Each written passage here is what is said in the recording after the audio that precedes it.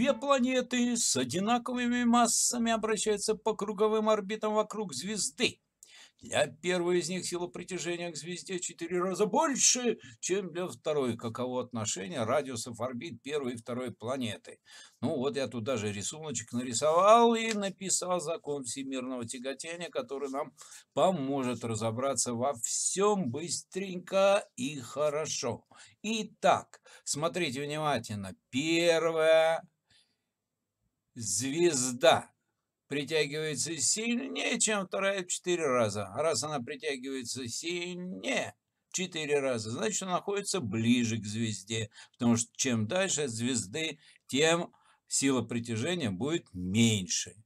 Она будет не просто меньше, она будет обратно пропорционально квадрату расстояния. То есть, если мы увеличиваем расстояние в два раза, сила притяжения будет в 4 раза меньше. Ага, вот вам и ответ на этот вопрос. Вот вам и ответ на этот вопрос. Понятно, что я сказал? Если расстояние будет в два раза больше, значит сила будет в 4 раза меньше. А если, допустим, расстояние будет в 3 раза больше, да, то сила притяжения будет в 9 раз меньше. Обратно пропорционально квадрату. Ага. Значит, я сказал, радиус будет больше, а сила будет меньше. Понятно. Радиус в два раза больше, сила в четыре раза меньше. Поэтому соотношение радиусов, отношение или соотношение, а, отношение радиусов, да, отношение, о, отношение, вот, радиусов будет один к двум, вот и все, один к двум. Ответ понятен. Ну, а в принципе, если нужно строго это все доказать, может смотреть дальше, как можно прийти к этому ответу. Все. Итак, сейчас мы получим более подробное объяснение. Мы получим. Вы получите, а я расскажу. Один к двум. Так. Итак, вот звезда. Вокруг нее вращается первая планета. Радиус R1. Вот вокруг нее вращается Вторая планета. Радиус R2.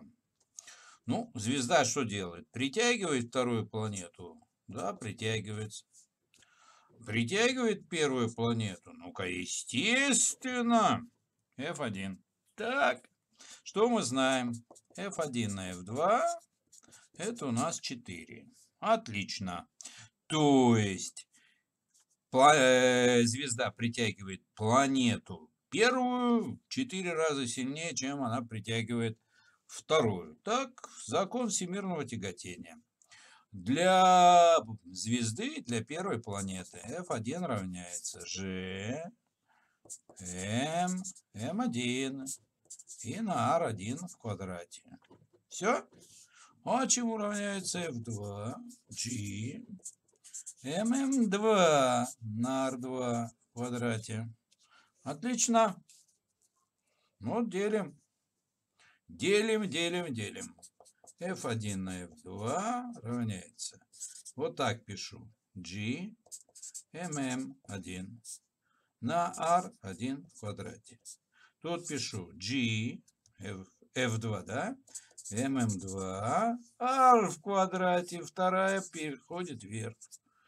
Вот GG. M М. Сокращаем. Ма массой задачки дано, что они одинаковые, то есть масса первой и второй планеты одинаковые. Сокращаем. По условию задачи М1 было равно М2. Ну и все. То есть F1 на F2 это 4 равняется R2 в квадрат на R1 в квадрат. А возьмем-ка мы квадратные корни влево с левой и в правой части. Да, вот квадратный корень отсюда и отсюда.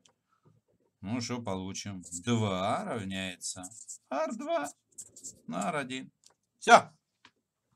То есть радиус второй планеты в два раза больше, чем радиус первой планеты. А нам-то надо найти отношение R1 к R2. Переворачиваем.